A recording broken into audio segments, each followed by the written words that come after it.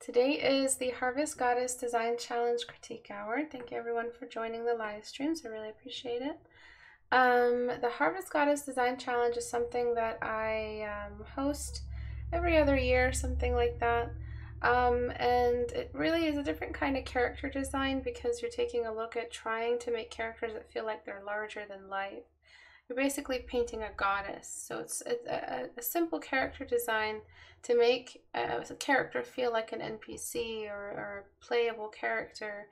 Um, not much goes into trying to, to trying to infuse that character with the sense of the sublime or the celestial or the again the larger than life and then when we're looking at god creatures creatures that are supposed to be god like um, some of my favorite god designs. I mean you you the god of war series can be a, the starting game so god of war 1 2 and 3 when they were designing um, uh, uh, the gods of olympus they just had to make them larger than life you know big muscles. And most of them had one key element between them, which is um, they had a, a little, like a glowing eye, or they had that disconnected, almost inhuman uh, style to them. So you see characters like, well, this is Hercules.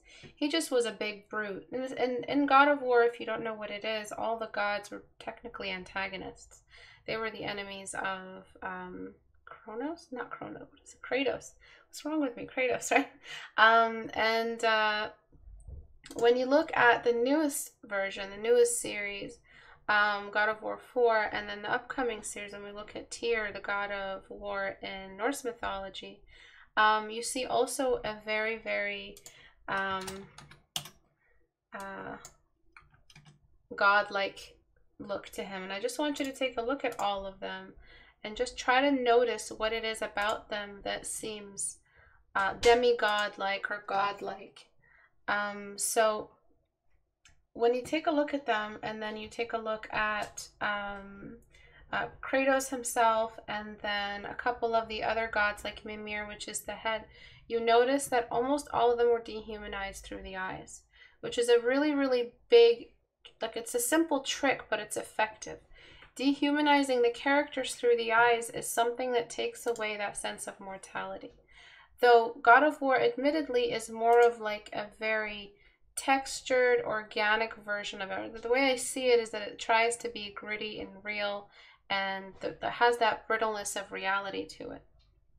But if you, there's a lot of other games that, um, or even animes that try to represent final forms, godlike creatures, um, and uh, and other other beings, and they always take away that sense of humanness from the two big things, which is again the eyes, and the last thing is the feet.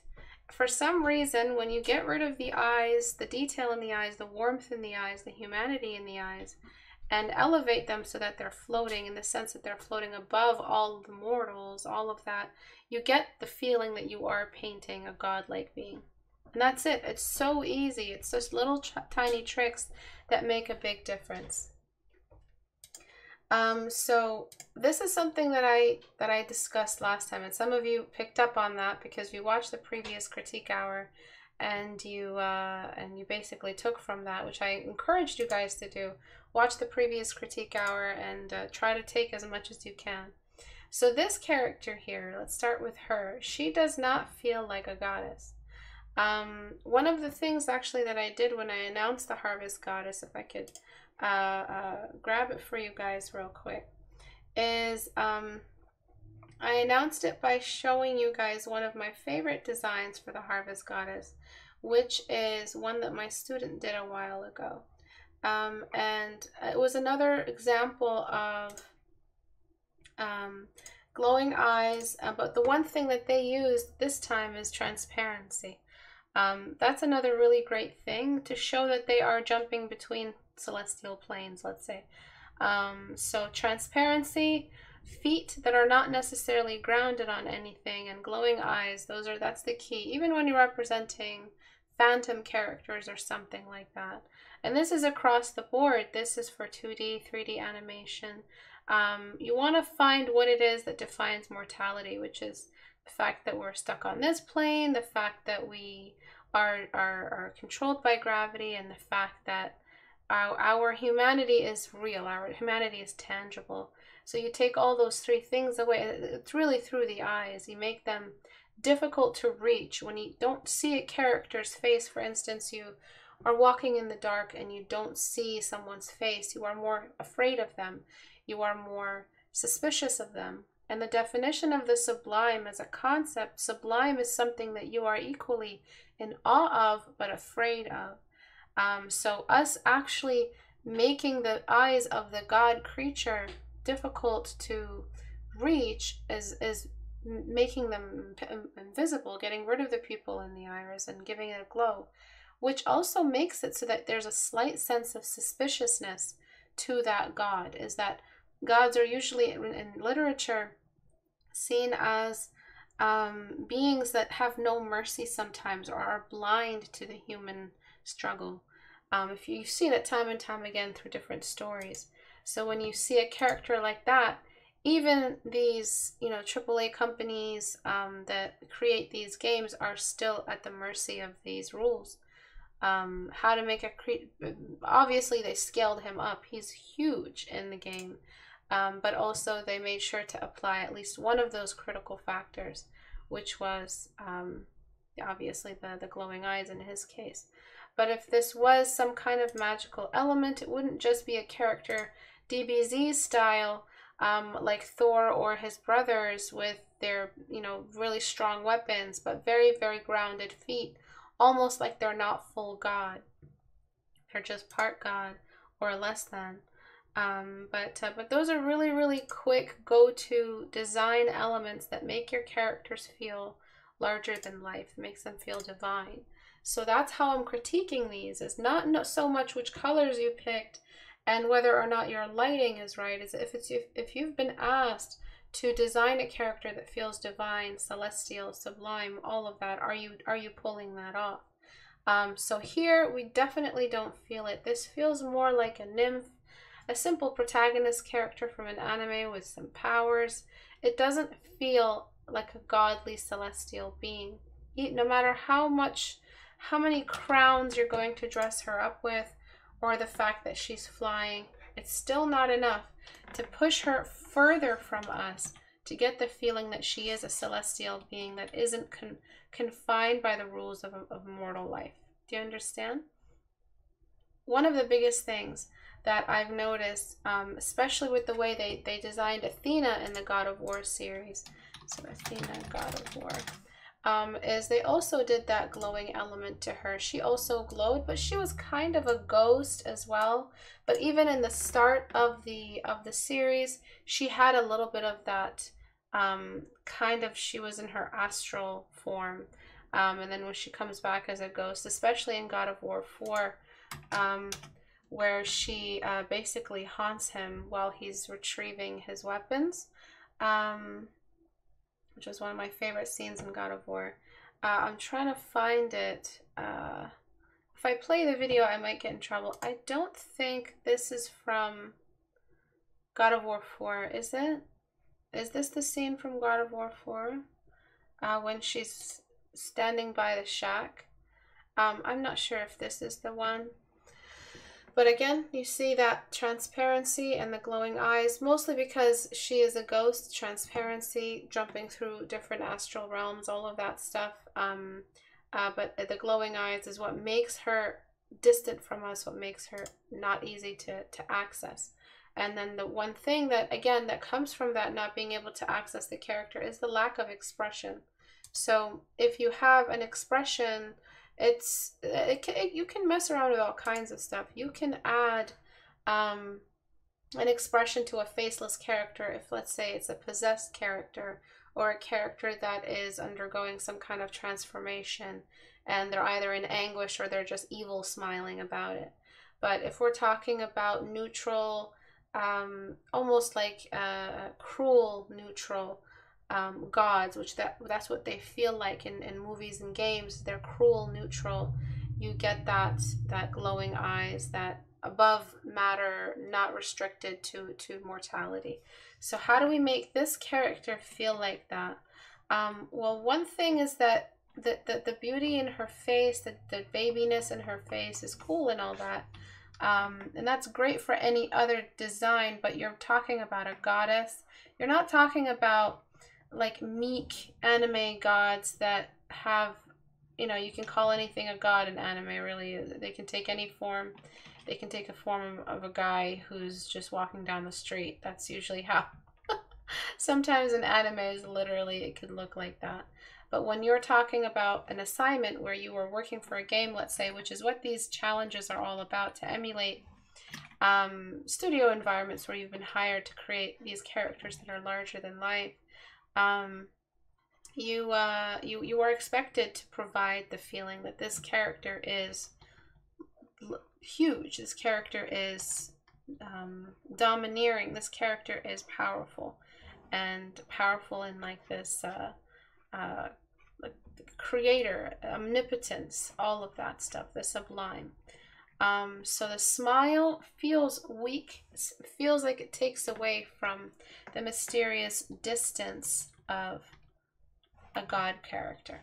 Again, this isn't a normal character design, and that's why I have fun with it. You really are expected to rely more on um, uh, pre-existing kind of yeah for sure play with the textures and the environment and how you are portraying the bringing of the season the harvest season. Um, but you still have to show that this is a god. Almost every god throughout cultures punishes in some form or another. So freya the goddess of fertility is also the goddess of war i believe or the goddess of justice. Um, so it's it's interesting to see how these themes overlap all right, so just doing that alone really made this character feel a bit more scary, a bit more powerful. It's not just a little girl with some pretty powers. It's a character that is literally changing the seasons around the globe. They are the you are personifying the power of nature through a character. So when you were looking at your submissions and while you were painting them, did you guys say, am I personifying the power of nature, of Mother Nature, um, uh, in this character I drew? Do, does the viewer feel like they are looking upon a character that um, represents that much power, but as a human being? So why do we personify things uh, at all? It, we're humans. We love personifying things. We've done it. Every god we've ever written about, every pagan religion, every every every polytheist religion, anything like that, we they have all personified things that shouldn't necessarily that aren't you know human or human in nature. Um, they've added that humanness to them because we understand things better when they look like us. So uh, that's why it, this is a fun challenge because we are we are turning this power of nature, Mother Nature herself, the harvest goddess, into a recognizable human form. But we can't just paint a human. We have to make the viewer feel like they are looking at something all powerful, something sublime, which is interesting. Interesting, you know, philosophically to think about a mortal form, a mortal vessel like ours, in the shape uh, or, or trying to represent power. Uh, humans have always written about stories that give us power where we don't have power. Like DBZ, for instance, is an example again. Everything about DBZ is what every man wished they could do, which is fly, beat the shit out of things, super strength, everything that we can't do. We fantasize about doing them through art. Um, you name it, every story you've ever read is about things that we wish we could do as a species. Um, so we're looking too much at the ground. I don't want to pay attention to the crop circles on the ground. Um, I'm not sure how crop circles in, are, are factored in. Maybe you're saying that's the presence. That's her visiting a crop, you know, a, an area, a farm, and then just leaving her mark, etc. You've you've also left her staff, which should be a little bit more visible. You've actually cropped it out of the way, which is unfortunate because it would have been cool to see it um, in its completed form because it is part of how we are the viewer is going to identify and recognize. So that's a key term is can your viewer recognize what you're trying to do? Is it recognizable? Can they pick it up? Um, a lot of you fail with that across everything. You know, even when it, you guys forget how the viewer thinks. You guys forget to think like a viewer. Can they pick this up? Nothing. That is one of the hardest things to do as a creator is to imagine yourself as the one receiving the product. Um, as for your gesture, um, the gesture doesn't feel so. You can see how I fixed up the silhouette. Um, you threw a bunch of light behind her, but there is almost no silhouette uh, happening. This is why I spent so much time on my channel on silhouettes because you guys love them, you guys love doing them, but you always do them wrong. You forget that a silhouette has a certain minimum level of darkness needed for the character. If you are going to have light behind a character, there is a universal, a minimum level of shadow the character has to have, or else you're just painting transparent or translucent things that just don't pick up any read from the viewer's side because it's just too washed out and doesn't make much sense. All right, so I'll show you the before and after just for her robes. And if you really wanted to, the robes to feel like they are translucent in certain areas, these dark spots right here could have just been uh, the spots where you put in the subsurface scattering. Um, and that's as simple as um, doing something like that. And, and subsurface scattering, I did a video a while, while back on it. And it basically is just find the spot where the shadow usually goes and just unload a bucket full of saturation and illumination. So there's this, and then there's a little bit more of that. So I balanced out the color. And then there is also the presence of the light itself in the fabric because it's both saturating, illuminating, and leaving behind the color of the fabric. Um, so I'm going to copy paste that, go to before any of this was done, paste it, and then just let it mix in with soft brush. Okay, so um, so what's the point here?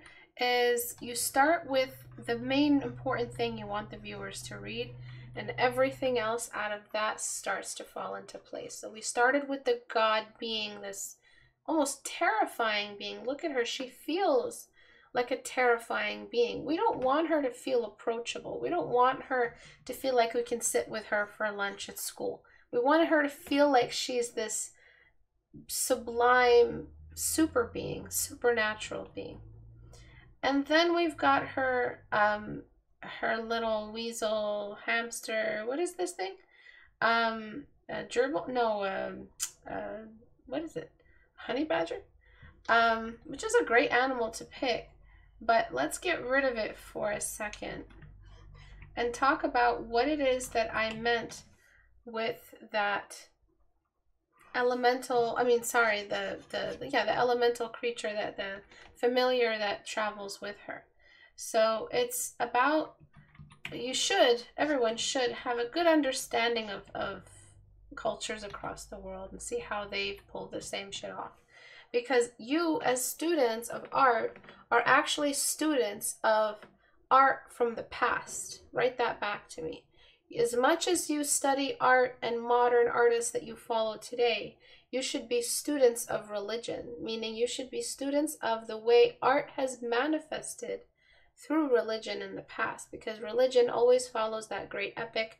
You know, outside of the religion as a negative, there's good sides and bad sides to everything. The good side of religion is art. It always will be. It's like not a redeeming factor even because religion is toxic, but um, nowadays anyway.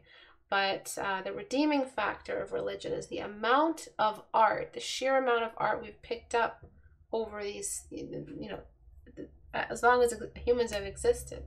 Um, the art of ancient Egyptians, the art of the Ottoman Empire, the art of Rome, all of that um, how you can't go anywhere in these religious areas with long, long histories without finding art. So if you are going to be students of art and now modern day, you should take a look at how familiars were represented years ago. Where does the concept of familiar even come from? And why are we talking about this? Because it's existed for centuries. Um, so millennia. Um, so the concept of Fenrir, which is the the um, the dog for um, what's her name? Uh, Hela, I believe. Um, but I don't think it's just Hela. I think the Fenrir or Fenris, um, the Norse god, North, sorry, the Norse mythology uh, familiar of whatever god it is. Um, I'm pretty sure it's Hela. Um, uh, is a uh, good example of what I mean when I say it could be a cute little uh, pet, but if you think about the phoenix that Dumbledore has in his office, very, very strange creature, very sublime in its power. It's very um, a very quiet creature, but it represents a lot of what Dumbledore is. He's very flamboyant and very colorful and a very um, uh, fun-loving but extremely powerful and mysterious wizard.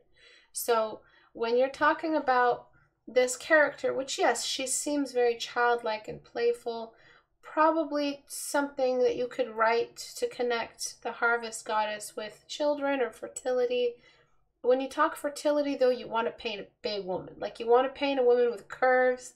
You want to just build off of that. Um, but you're using a child form right now to represent uh, to represent uh, you know what uh, what the harvest is. That's your choice. That's how you want to take it.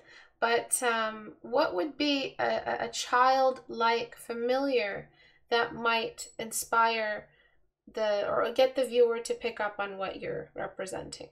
I think um, a familiar that I would have picked is what you already picked, which is the ladybug. I would just stick with that and I would just surround her with a swarm of ladybugs instead of that weird, almost sad looking blue creature you had here. I would also do one more thing, which is um, just get that leg out. I don't know why you made it one unit, but it's really falling off and it's not giving us a good read. So the kind of body, she's kind of doing this twist. So take a look at my pencil right now. She's doing this, oh my God, I'm about to draw a swastika, aren't I? Ah, uh, shit, I'm gonna do something else. She's doing this twist with her legs, almost acrobatic. Thank God I stopped that. Jeez Louise. Um, uh, so I feel like the other leg is kind of working off that almost gymnastic momentum, that twist. You know, I'm not sure if you guys have seen it. I think you can see it if you look up underwater acrobatics. I don't know what that's called. Water dancing. Um, but when they twist, they kind of do uh, that. I'm not even looking at the chat right now. Um, so I think if you had given this leg a little bit more flexibility moving out, you'd have had that breathing room in between her legs instead of making her um, entire lower body one stiff and very uninteresting unit. You could have just done something like that. Um, uh, I would also ease up on the curves since you went for that childlike form with the big head and the little torso. I wouldn't try to overlap that with any um, uh, sexual kind of you know, matured woman body signatures like the big butt. Um, and then that way we can see her feet overlapping some of what we have here. All right, and so we get to see her feet a little bit. That foot is actually not where I wanted to put it. Um, all right. So I'm just gonna keep. I'm gonna try to do them all today, but this is just a quick. I hope you guys are picking up what I'm putting down. um, I hope you guys are understanding me that when you paint a godlike creature, when you paint a creature that's supposed to represent unimaginable, unimaginable power, usually painting it to show that the protagonist is up against a lot. So it's not just for creating big creatures that feel sublime and larger than life. It's so that you could make the success that that that that character that goes through um, uh, even more uh, uh, have a higher impact. Um, so if you think about uh, uh, Hellboy 2, Hellboy 2 creatures were off the chain, all right? that stuff, uh, damn, damn, damn.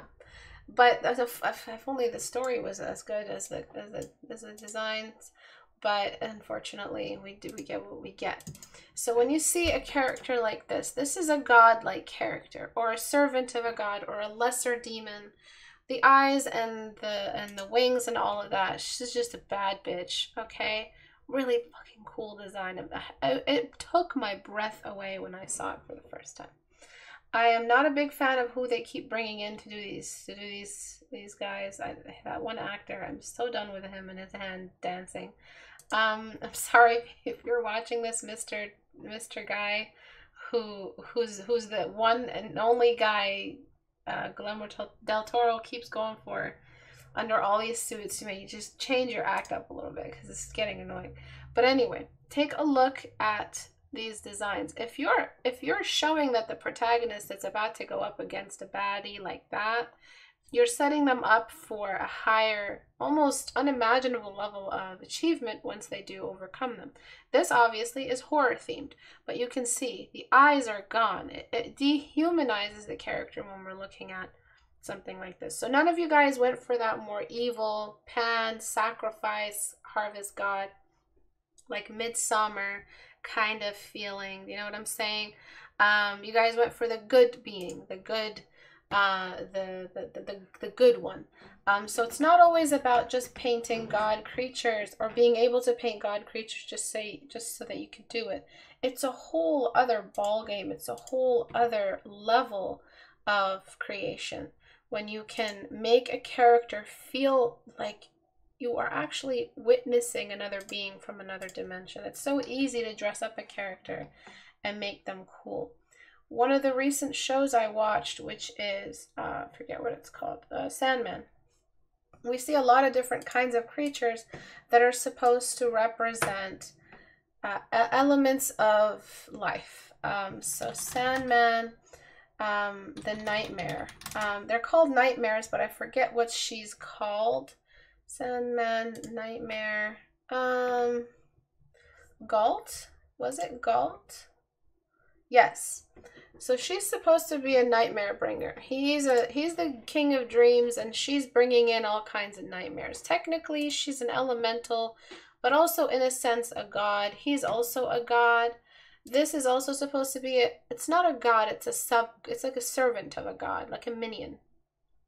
Um uh, so one way that I, I feel like this failed, but also might have succeeded in your opinion, is that we see her eyes. That's really what made her not feel like she had that much of an impact as a character to me because they did not take away her eyes. But one character that scared the bejesus out of me is this character. Again, this all goes back to Neil Gaiman, right? He's the one who wrote this part of the the lore, if I'm not mistaken. I, I did some reading on it when it first came out. He's that he's got no eyes, which made him feel very menacing. You felt fear for the characters he was about to kill. You felt fear for them. Um, you felt in danger. Like this scene, this vulnerable child with this guy who's not who's never had good intentions for anything. You feel a sense of fear. Um, but this was supposed to be a good character, but we're also talking about a nightmare that caused a lot of trouble. She was a bit more of a tender character who just wanted to be a good person. But it's an example of uncanniness that may come when trying to humanize too much while also dehumanize. It's one of the more uncanny, difficult to look at designs from that show. Um, so be careful with that. If you're going to go for the transparent, elemental, and just just throw on a human face with all the humanness there, it's not going to convince at least a, you know a good viewer it's not going to convince them that they're looking upon the personification of a nightmare okay? So that's why when you are even doing elementals when you're doing any kind of non-god creatures go for the eyes okay? When you're attacking this stuff go for the eyes because it's really the first thing that should go when making these designs. So comparing this here, this kind of like reveal splash art for this goddess, I feel like we pick up a little bit more on the godness of her. And that plus a little swarm, almost like the way we see a swarm of that's not really a swarm, is it? When when when that Rise of the Guardians with with the Easter Bunny, Jack Frost, and all that other stuff, and Santa Claus, which is a fun movie. Um, they could have gone without the Easter Bunny, but um, uh, you, you, the, the swarm of hummingbirds that follow the tooth fairy around, which I think is one of the best designs I've ever seen and interpretations for what a tooth fairy is. Because hummingbirds are fast and they fly everywhere, and she's just surrounded by these hummingbirds that are everywhere that are doing her work for her. So if you had done the same thing but with ladybugs, and then you would have completed that cuteness of everything you know, a God of mercy that personifies itself through the smallest creatures to teach humanity mercy. We've seen that many, many times, many, many times. You know, God is in a flower concept. Um, uh, but, uh, but, but yeah, that, that whole really lazy, depressed creature of depression that you had before, I don't know what the hell you were doing with this, but it just felt like a girl and her pet, and she's got some powers. Um, but if you want to upgrade it to make it feel like we're looking at a godlike creature, um, I really think you could have gotten rid of that animal and put in a little bit of effort um, with that swarm. I know the swarm can be intimidating because it's a swarm, it's a lot of painting and a lot of time to dedicate into something like that. But um, honestly, if you copy paste your way through it and just picked a select few foreground ladybugs, You'd have carried the concept home. Uh, the ladybug theme would have been more visible. And then that plus the wheat and the field. And then it seems like she's just, you know, doing this big swirly attack of some kind and just changing the leaves and changing the colors of the, uh, bringing the harvest and changing the season. Okay, let's talk about this one. So one thing that a common common mistake when doing concept art for characters that are supposed to look celestial, um, especially against a black background like this, is you run the risk of just making them look like someone in cosplay. Um, uh, uh, so when your characters, this is a big, uh, it's a, it's a weird place to be in when being a character designer. Um, when you are painting characters and character designs, and they're supposed to be this part of a world. You're world building. You're building a whole world, and you're showing us the world through one character. If they look like they're at a Comic Con, con- like a Comic Con co- convention, I guess, um, and and they're just in a, in cosplay, that's considered a failed character design. They're not supposed to look like they're they're putting on a play. It's not supposed to look like Disney on Ice. It's not supposed to look like the Lion King theater. I've never seen it and I never will because as soon as I saw those lion helmets they were wearing, I knew I couldn't take that seriously. but um but when they look like they're in costume, that's when it feels like we're not getting it. So you did do the eye thing, which is really, really cool. You dehumanized her that way but you made her kind of standing around. One thing you could have done is possibly made her um, a little bit more giving her foot that floating feeling. So it's just one little trick, but it's annoyingly simple and effective. But it's it's it's just a small little trick, and you're probably gonna guess what I'm gonna do. And that's just um, that's just to Make her foot feel like she is floating. She's larger than life. She's not bound by gravity or the common restrictions of mortality. She is deathless. She's a goddess, and that's what goddess means. When I write goddess, I don't, she doesn't need heels, all right? She doesn't need heels. She doesn't need to elevate herself two inches higher. Um, a, a concept of a heel is always funny to me uh, on character designs that are supposed to be of of really powerful creatures. Um, so if you just have to look at, but like you know, personified. It's, it's always funny when I see the heel. I always think of gods and goddesses as barefoot because it's just part of. That's why.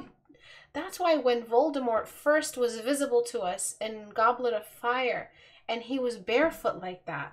Imagine he showed up with shoes just take a moment. Just close your eyes. Imagine that first time we see Voldemort, he's in shoes.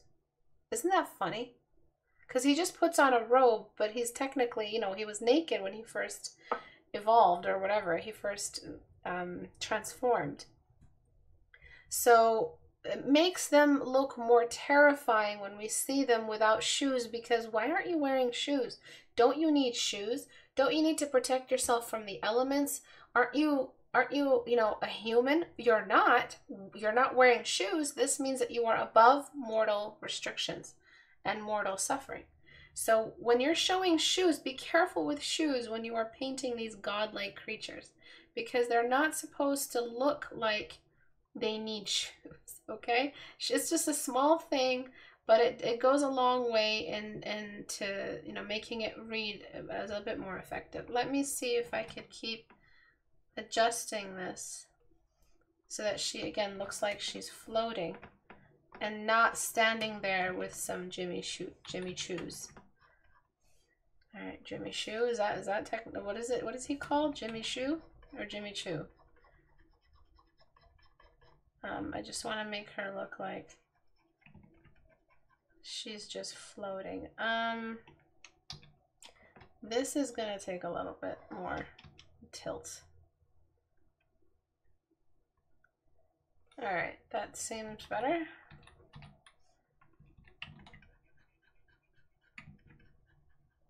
Okay, so do you guys see what I'm doing here? Is I'm just showing that there's this little suspension, a sense of, I don't want her to look like she's on her toes, so just a little bit of suspension in the way she's standing. Maybe even just like we see with Hades, which is really similar to the way they designed Voldemort is that we don't see Hades' feet in Hercules, the Disney Hercules.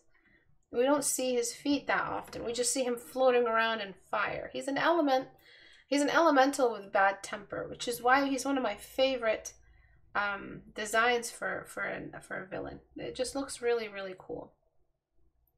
So let's talk about the fact that you picked a black background. You picked it for your own reasons. Maybe you just felt like it would make the colors pop all of that. But what's happened is that you've actually kind of taken away from our ability to read the full picture. This is a harvest goddess with sunlight and sunset colors on her being. Why is she surrounded by the dark? Maybe we're looking at her in the celestial plane. Maybe she is in the world of wherever gods go when they're resting. Um, so right now what I'm doing is I'm just using some colors here and there to bring a to kind of create a halo around her. And that'll kind of make sense of that. Dark environment you added her in because there's only one reason and one reason only one decent reason why you need a black background in a character design environment to show off glowing elements in the character design. There's no other reason for it it's it kills and it kills your scene. It kills your colors. It drowns out. It creates this weird boldness um, around your character that actually just makes no sense because we, we don't need a black background to make her feel like the the thing we're intending. So just give it a sec. I'm just gonna throw a little bit more. Oh, it's not fully black in the way you it's not actually black. Okay. Um, and uh, just continue that little halo. Another thing I'm going to do is um, give a bit of transparency. It's not, I just, I don't want her to feel blackened, but I also don't want her to look equally opaque all the way around. I want to make some parts of her kind of disappearing into the background, almost like they're see-through or just connected to that, what I'm going to add in a second, which is going to be that kind of wall of stars. She's just in her uh, in her realm, in her which is a very go-to again another go-to quality. So, um, images. I'm just gonna pick um, anything I can find really off of Google, and then use it on the image except on screen screen filter and then just throw that on top And that's going to continue the feeling of that kind of astral realm that we have, that we are witnessing this goddess living in. So you could do this in your own way. You could make your own layer. Obviously, I don't have time to paint it, but it goes a long way. So that way, it's really quick tricks. Really, really, it's just a quick, really quick trick that doesn't look cheap, but it's very, very quick to making that black background into illustration level completion. Okay, um, let me pick up one more. Um, which is a good one? Hmm. Mm -mm. Um, bear with me.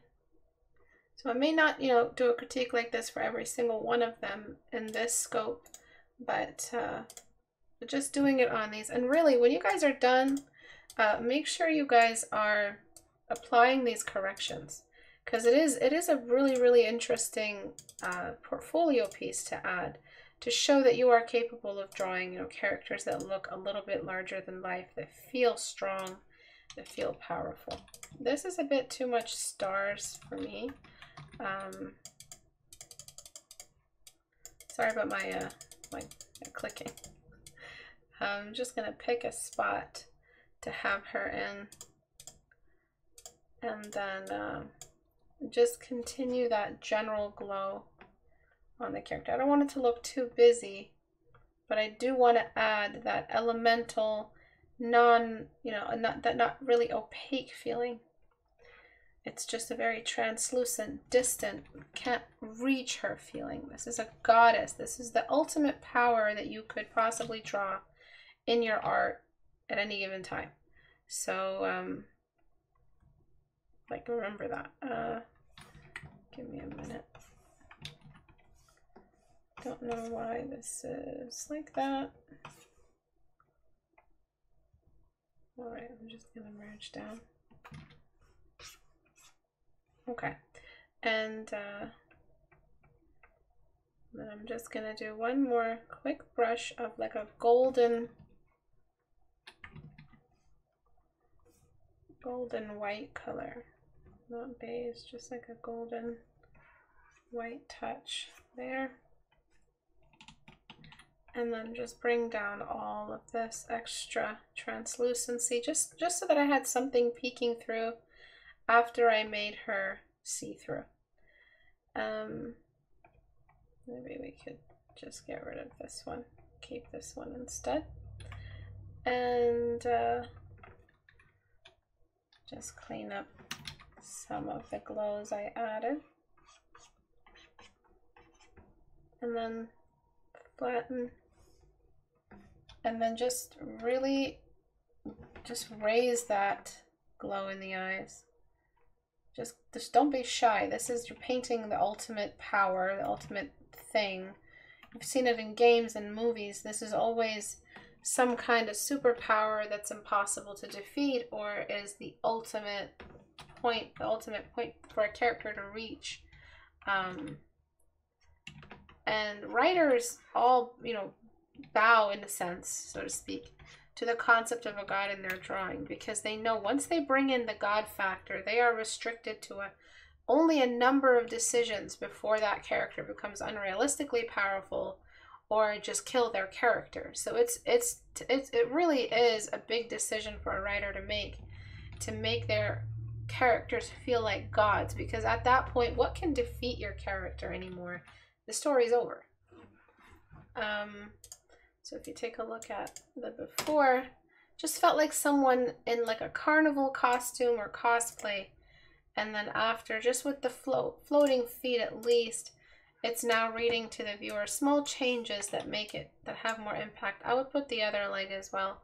Small changes that have a big impact. One thing I actually want to do is add just some water ripples just to show, usually if you've ever watched the OA, the OA has this really cool concept and it's not just, it's not the only one. We also see it in Stranger Things.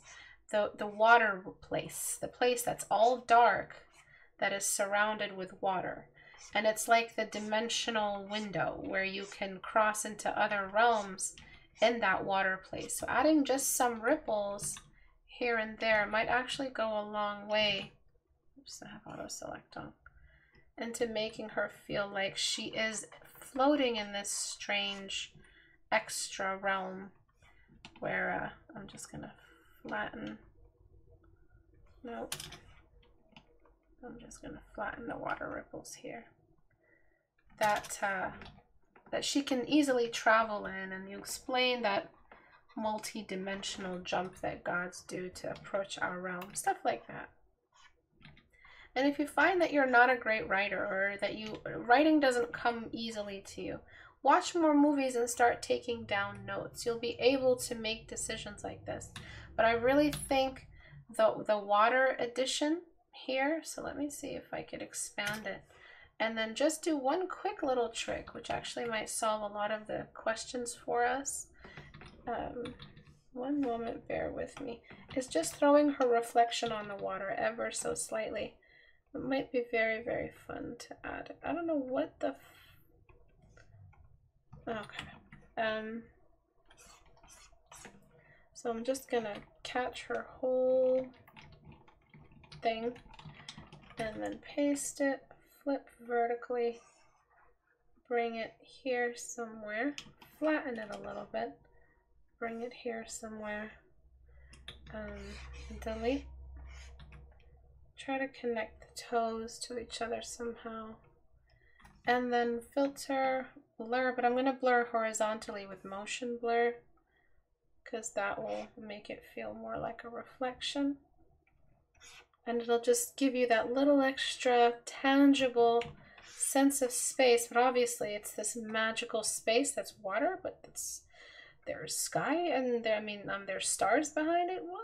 This is so cool. And um, obviously, I'm doing everything really quickly and very roughly. You should try to do this stuff and uh, a bit more carefully than I am. Um, and then the way you frame things, I just keep increasing the size of the canvas. You really did give us a very constricted canvas. Um, but I'm just uh, adding a little bit more space above her a touch. Uh,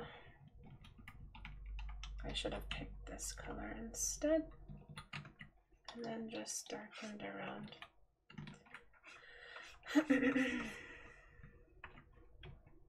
So do you guys see what I'm doing? We're using cues, little stage cues, cinema cues, to make them feel like they're no longer in our realm. They are these super beings, and it's all about delivery. Write that back to me. That's what it is. Everything I've mentioned is just about the delivery.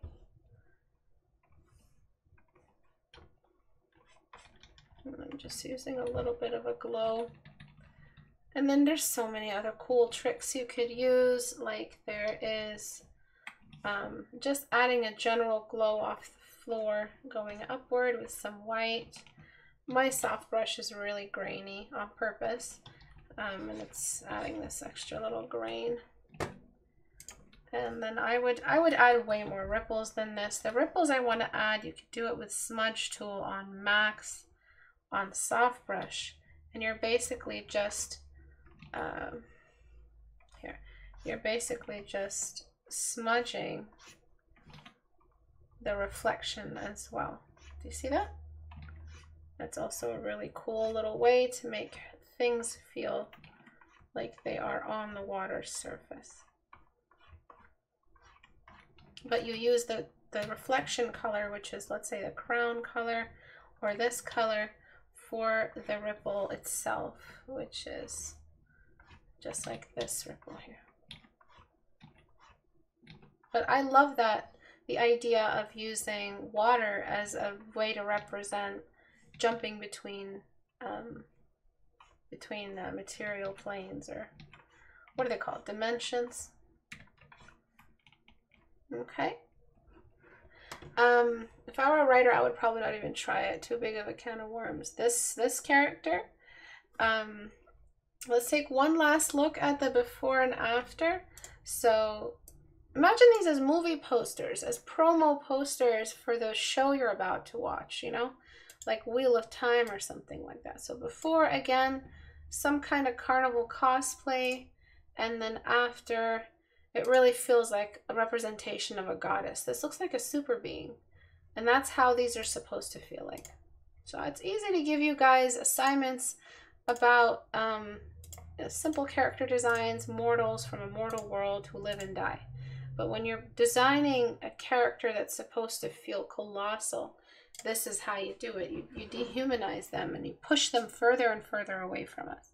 Because as humans, we've been told that God exists, but you know, such a far away concept, so difficult to grasp mentally. That's what we're representing when we, um, you know, white out their eyes and make them float and make them feel like they're part of the elements around us. Uh, this one is cool, but you grounded her feet. Oh, it's also very washed out and she feels very small in her surroundings. Um, so one thing that we could do to enhance this is, uh, is first of all, we want to color correct. So she's got these beiges on her, but the sky is purple, but it's also gray and kind of overcast. What's going on? Um, you want to add the halo behind her, but you're kind of shy of the contrast needed. Um, I understand contrast can be one of the most difficult things for a student to understand. Um, when I don't want to use it, and it comes hand in hand with fear of failure. Students like, I don't want to use it because I might use too much, but I know I need it and I don't know how much to do it anymore because I've spent years not painting with contrast, so now I have no idea what to do when it comes to contrast. But if you're painting a sky or something like that, don't be afraid to add in the necessary amount because the sky is bright. You never go outside and look up on a sunny day. You can't. Even the sky itself is hard to look up at in the in that. So that means that you're talking about heavy contrast required when trying to pull off a read of a sky a character in the sky. So that's the first thing I'm going to do is just introduce simple contrast. All right, so I'm just gonna limit it to just behind her head and there. So you did have those glowy eyes. A lot of you watched the old critique hour and got what you needed from it, which is good. But now it's about color correction and saturation. It feels extremely dull. So the first thing I'm gonna do is just saturate, just a quick slide. So know so I can know what colors I'm dealing with. And now you have to decide are you going to go with those peachy tones of her skirt and her dress? Or are you going to go with that purple winter Frost Queen color? Obviously, you don't want to do the Frost Queen. I can see why you're doing it because the frost is also, but we're not talking about the bringer of the frost. We're talking about the bringer of the harvest. So it's not necessarily a winter concept just yet. Um, all right, so I'm just going to turn that background into almost like a fall sunset color. You could throw in some purples to the sunset as well. Those pinks in a sunset, just like this. Um, and the purples as well. Just some simple sky color right there at the top somewhere. Oops, that's too much. I actually want to use like a turquoisey color um, for the sky here. And then maybe some extra little reds and purples just to wake the whole thing up. And then we're talking about her. So she's got this snake that's got more detail on it than anywhere else she has on her body, which is actually caused a focal point um, imbalance. Her head um, she has a very big body, uh, but the head feels very small for her height. But it is a god creature, so it can you can get away with weird proportions. I am sure everybody in the universe by now um, uh, has heard about Peter Mohrbacher uh, and his Angelarium. One of my biggest inspirations when I was a growing artist. And he um, he has this cool thing where he makes these angel creatures they're angels, but they're creatures, but they're beings, but they're exactly what they're supposed to feel like when you're thinking about the god of water and the god of waterfalls and the god of this and the god of that. Um, um, Peter Mohrbacher.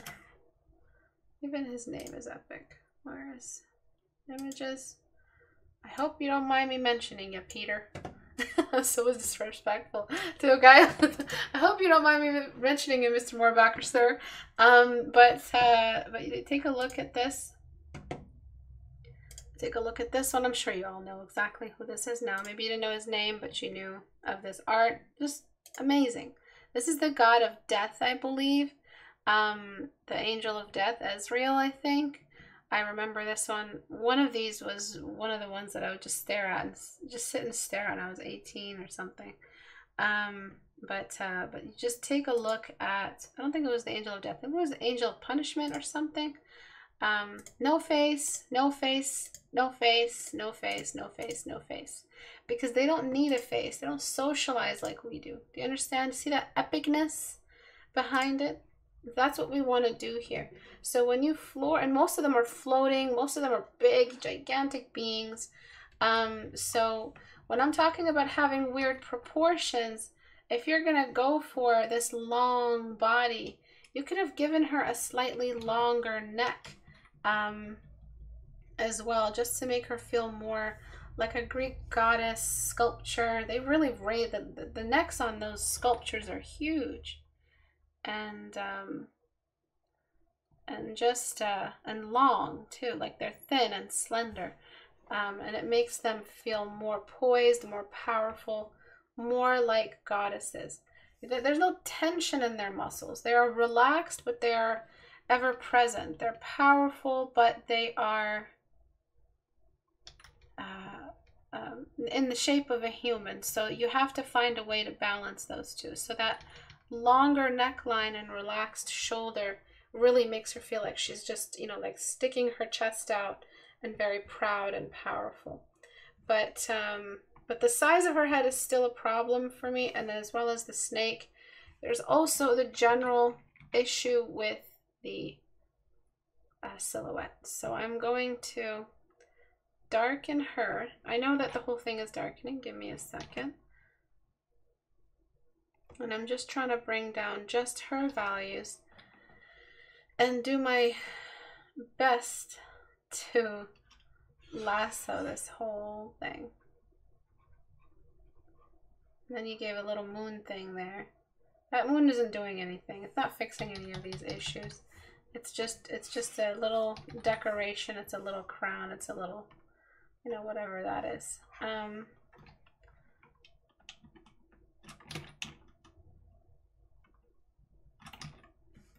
40 is too high. Let's try, let's try 25. Hmm, it's not great. It is not great. And you want to know why it's so hard to lasso? Because you didn't have enough contrast. That's the biggest giveaway. That's a good test too, midway through your process. Hey, let me see if I can even lasso this. Um, that will also help you determine. So what I'm doing right now, very clumsily, is just bringing in that silhouette and then I'll control it after. It's a little dull, I'll color correct, don't worry.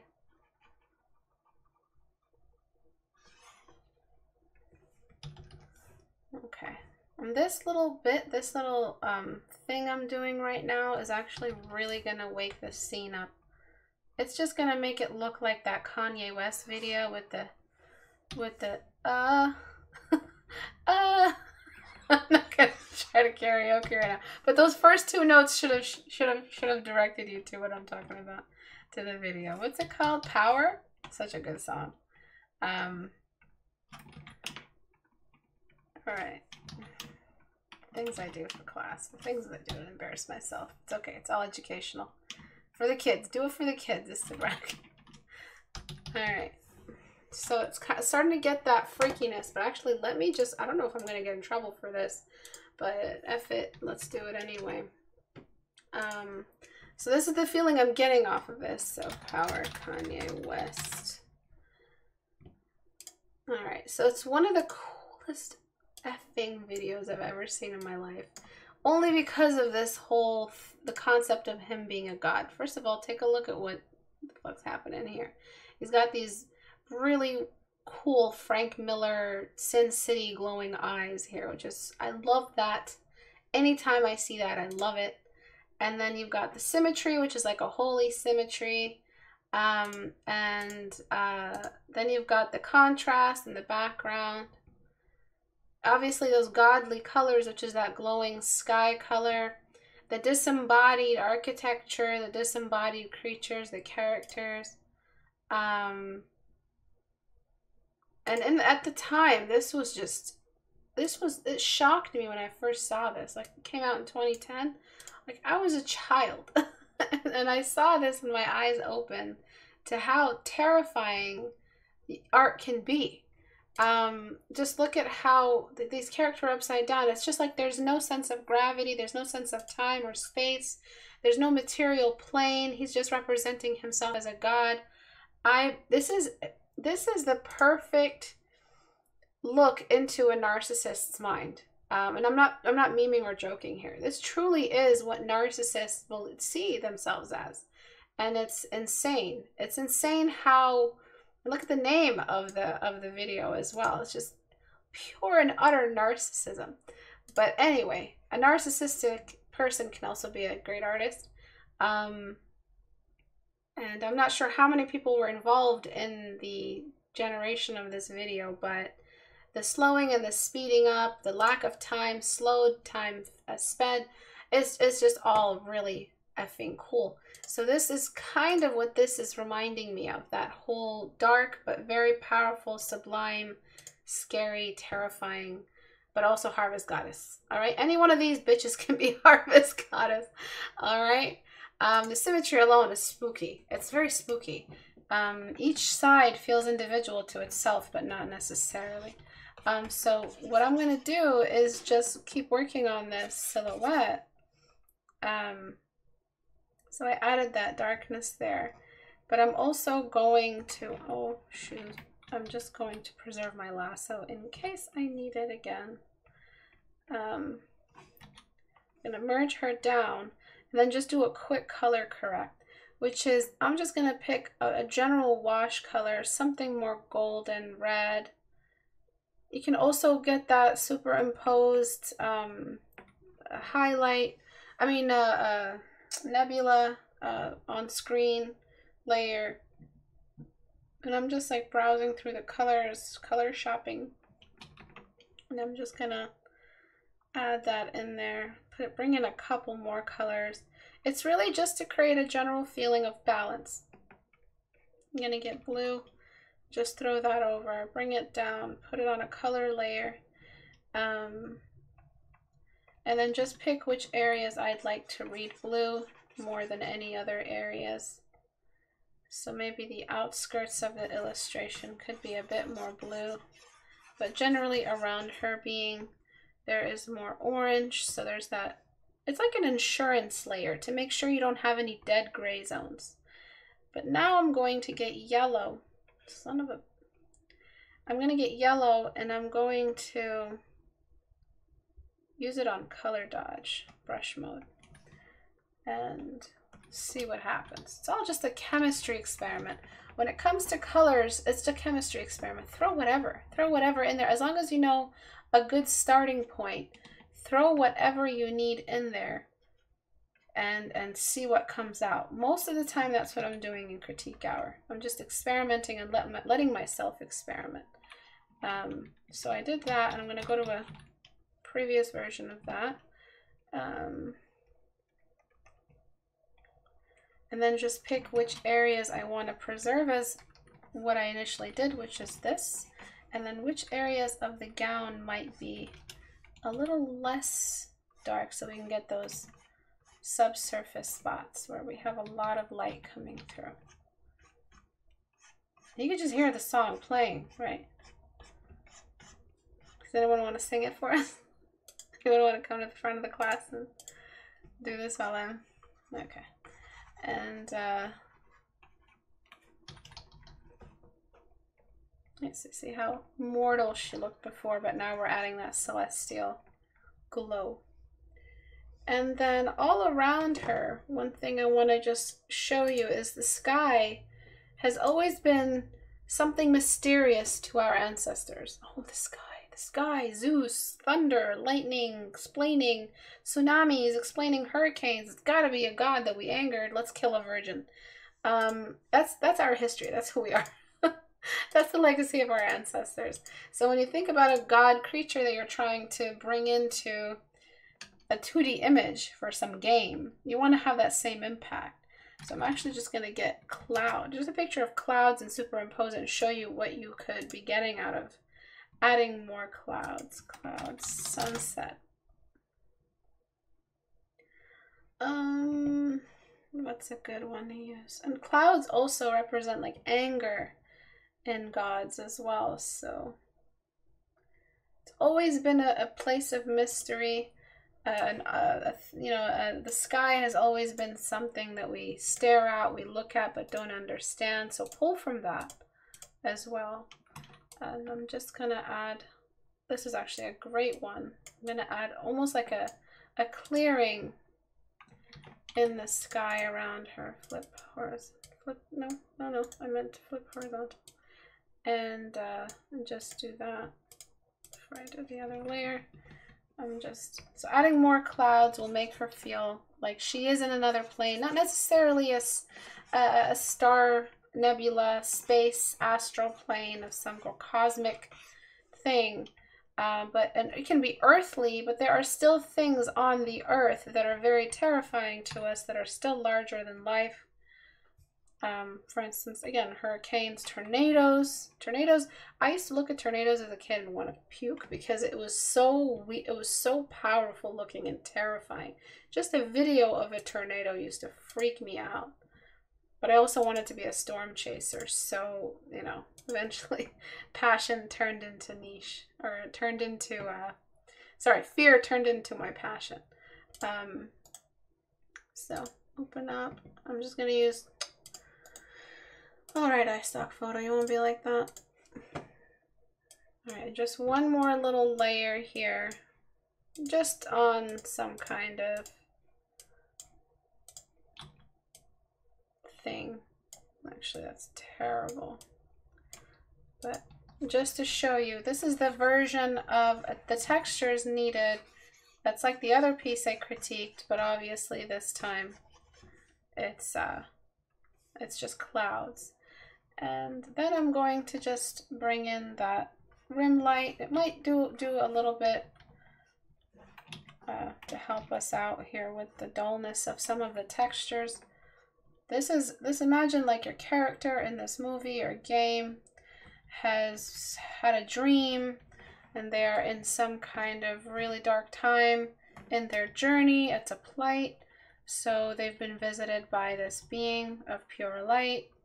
They could be evil, which is what I love about God of War because they ended up being a very malicious being that had no intentions of helping him, had selfish intentions of her own, but she introduced herself as this good, sublime God thing. And that's what the, the whole theme of God of War is, is that the gods can't be trusted.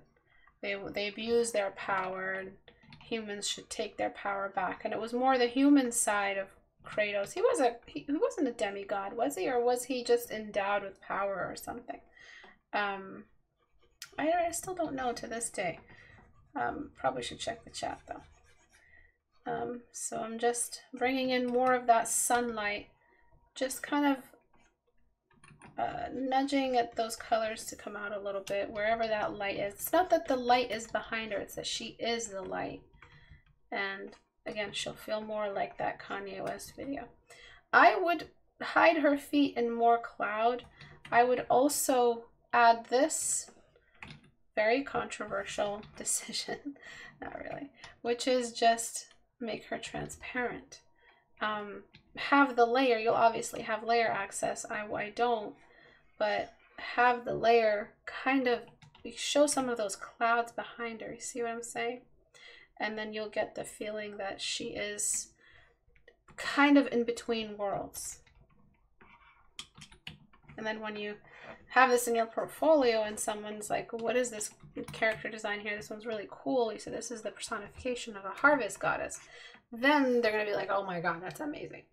Um, And that's that's what you want people to feel when they look at your images like, "Oh wow, am I really looking at an actual god?"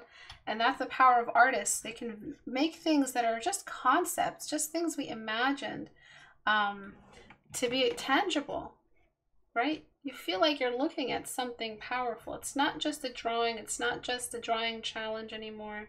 You're learning how to represent power in art and just look at the power of art through all kinds of cultures. People, you know, millionaires and billionaires and video producers and and and and and fashion designers and anything from anywhere is always all about art. That's the role of art is that it makes things that are just impossible to visualize or things that are not real into something very very real.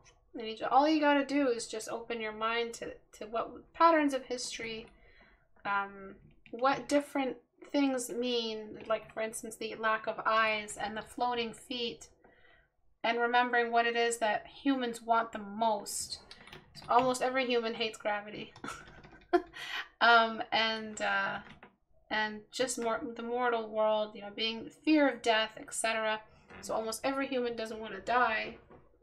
And as an artist, yes, you do have to think about these philosophical avenues, these these really interesting questions to ask. And that's what makes you decide on making a character that feels like they're larger than life. So it starts in the head, it starts in your mind and your ability to visualize it. Um, so the unfinished ones I'm going to look at in a second. For this one, again, it looks like a very happy, very wealthy lady that's put on all her best stuff and just went for a walk. So how do you make this woman with her pet chickens and her pet mice feel a little bit more like a goddess. So what happened is you actually, you yourself noticed, hey, she's looking a bit like a mortal, like a very wealthy merchant woman. So let me put a big ass halo. Instead of intrinsically representing the halo, which is what we did with these pieces. All right. So these pieces here, we represented the halo um, subliminally, sort of, not really limit. It's not liminal, but uh, where the hell did it go? Where's the one that I just critiqued? Oh, there it is. So we represented the halo without actually drawing a halo. Do you see that?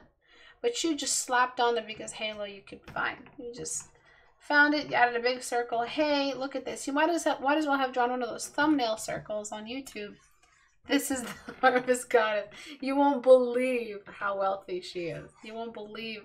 Click here for, I don't know. Um, so when you add that big ass circle, it's just a cop out. It's not, it's not actually doing anything. All right. So get rid of that circle because it's cheesy, it's lame, nobody needs it. We don't need a circle to tell us we're looking at something. We can see it's right there in front of us. So give the viewer some credit you already added the sunlight behind her. You added this beautiful subsurface scattering and the rim light. It's all gorgeous and he just slapped on a big circle for no reason. He did not need it. Alright, so I'm getting rid of that. Getting rid of that. Okay, so now that we have gotten rid of that very, very flat circle um, that flattened the image, we can now try to mess a bit with how to make her look like she's a goddess. Uh, so her eyes are closed, which is okay. If you want to make her look like just pure light, pure goodness, just the goddess of mercy, goddess of motherhood, goddess of all of that, goddess of fertility, goddess of wealth, goddess of, you know, the merchants pray to, um, uh, the harvest, all of that. So what you are trying to represent is that you want to keep that she's very she's a lot closer than the usual god to the human because she hears their prayers and actually answers do you know what i mean so one thing you could do is actually just get rid of those chickens which very funny Get rid of the chickens and just cover up her feet in some more of that straw pattern.